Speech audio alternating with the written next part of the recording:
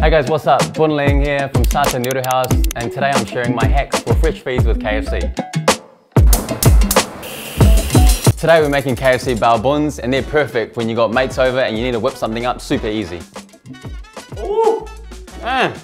And when I'm short on time or feeling a little lazy, I upgrade my meager ring with KFC. Ah, tasty. Head to Urbanlist for the full recipe so you can make this at home yourself.